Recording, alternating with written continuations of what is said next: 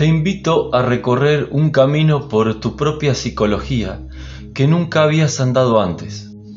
Te prometo que encontrarás en él el laberinto donde te quedas atascado.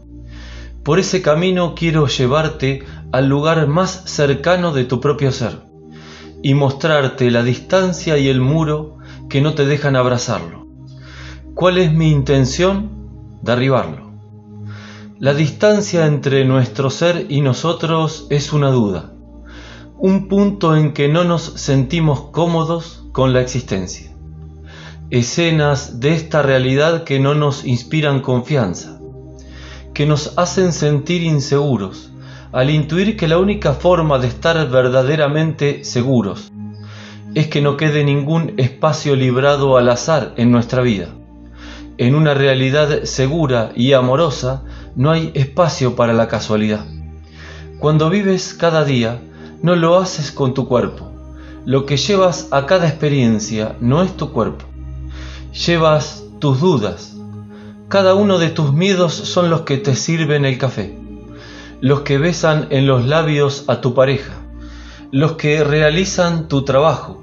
Y si eres un artista, tus miedos condicionan cada expresión de tu arte. No lo dejan volar, pero sí le permiten sentir y expresar lo que sientes. Es por eso que, si sabes expresar lo que sientes, aún sin haber conectado plenamente con tu ser, aún en tus inseguridades y dolores puedes crear.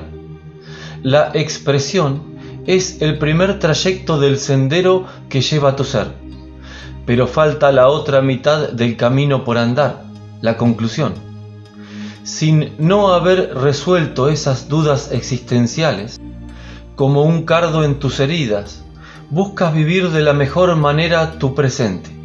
De esta manera te refugias en lo que consideras agradable, creando una división entre lo deseable e indeseable, la belleza y la fealdad, la luz y la oscuridad.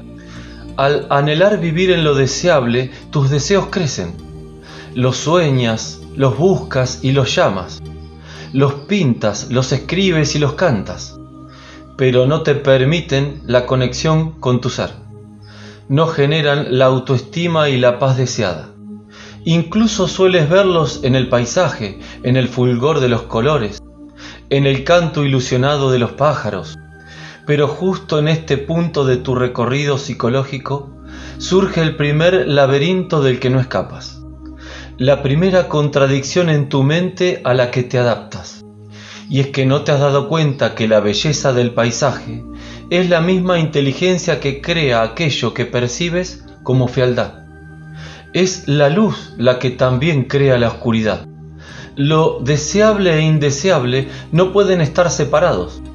Lo que buscas para sanarte es lo que ha creado tus heridas. La cura y el antídoto también crea el veneno has creado una separación entre lo bello y deseable, la fealdad y tú. El laberinto está creado y lo podemos ver claramente. Es por esto que no puedes conectarte a la paz de tu ser, porque estás viviendo en una contradicción que te separa. ¿Y por qué crees que nunca has reconocido esta contradicción? Si la belleza es tan profunda y poderosa, ¿Por qué no ha terminado con tus dudas y desconfianzas existenciales? ¿Por qué no ha terminado con tus heridas?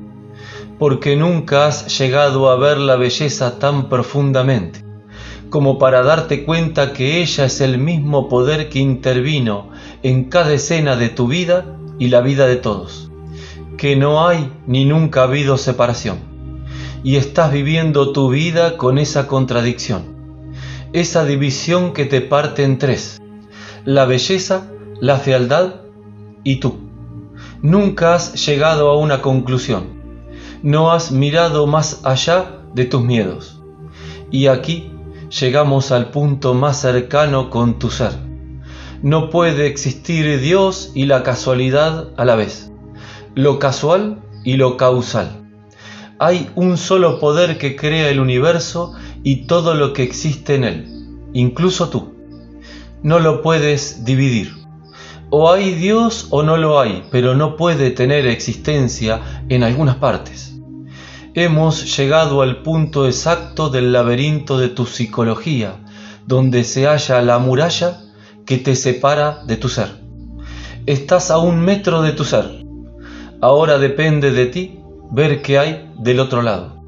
Si quieres profundizar más en esta información, te invito a seguirme.